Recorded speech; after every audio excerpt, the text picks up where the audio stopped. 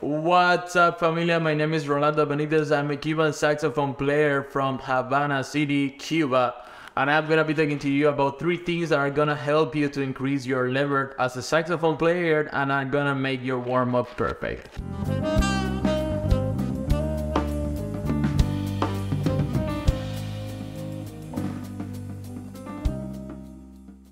The top one warm up that I do always is practicing with my neck. If you are not new to the channel, I'm pretty sure that you already knew about the mouthpiece video I upload and it create a lot of polemic, you know, a lot of people were saying that yeah, you definitely should practice with the mouthpiece.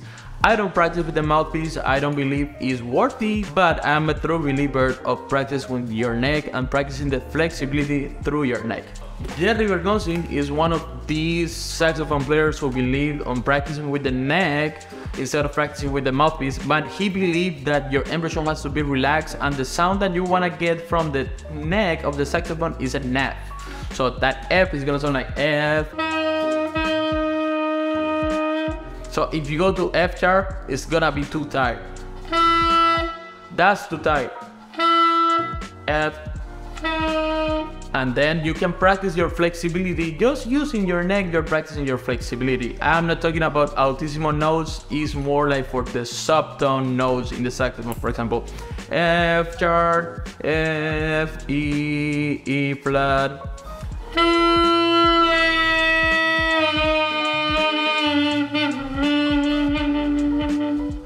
this you need maybe like a harder reed this one is kind of soft but I really like, you know, the way it sounds. How to apply that to the instrument. When you're gonna play you're not gonna try to sound like this, like this kind of sound. So that sound is fine, you know, as you can notice, it's fine. There's nothing wrong with that sound. But if you relax a little bit, like thinking in that F position of your embouchure, it's gonna sound like this.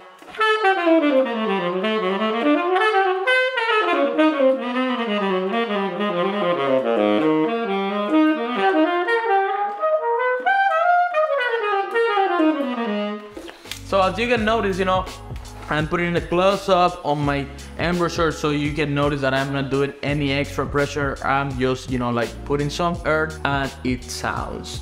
Number two tip, if you wanna do a warm up effectively on the saxophone will be of course low notes.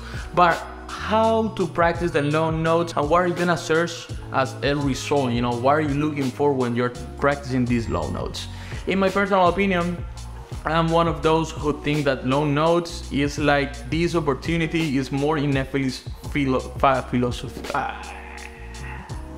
The philosophy I have, that's what I wanted to say. The philosophy I have when I practice low notes is I am practicing pretty much my muscles and it's this moment where, you know, I just go in front of the mirror of my sound as raw as it is, you know. So I will practice my sound, the low notes like this. Mm-hmm.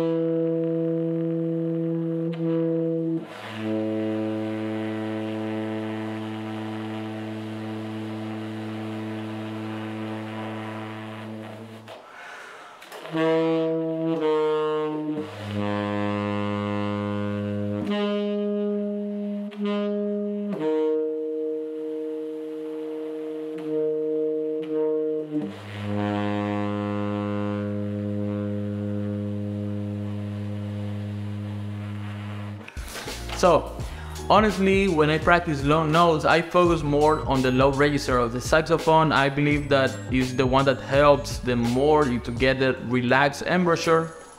But obviously, you have to practice, you know, on the high register. What is my point with this? For example, just choose two notes, let's say like B, F sharp, right? And I'm gonna practice those two notes all over the saxophone, but paying special attention to the low register. What I'm looking for when I'm practicing these long notes it's just like try to find my muscles, what I'm doing with my mouthpiece, what is the position of my tongue. I'm not paying like too much attention at the way that I am sounding. Sometimes when the reed is hard, I even play the B, B, F, F, F, B. I have no perfect pitch, so probably I'm out of tune. But the point is like, I am practicing the notes and I'm keeping all the same even if the saxophone is not sounding. I'm not forcing my muscles, you know, to produce the sound. So what I'm practicing is just like I'm gonna keep it relaxed, I'm gonna keep it natural, you know, and see if I can produce the, the sound like this.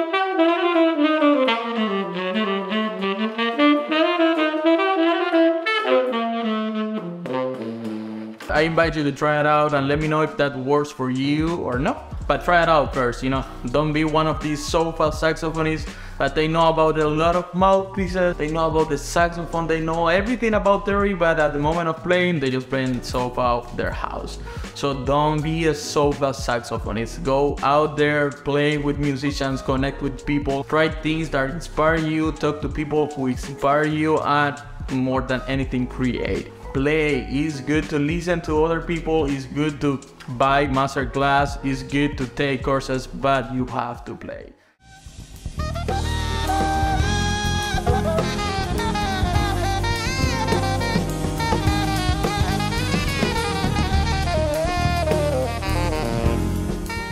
As I was saying on the beginning, the more important thing about the saxophone and you is the way that you think about the saxophone and that's why my third exercise or warming up is not a physical exercise. In my case right now I'm practicing a lot uh, exercise for trumpet. It's from the um, Clark Clark, Clarky, I don't know how to pronounce that exactly. But for example, I'm working a lot on this exercise because this exercise helped me to connect my mind and my fingers to the instrument. So it's this exercise that I'm pretty sure you know that.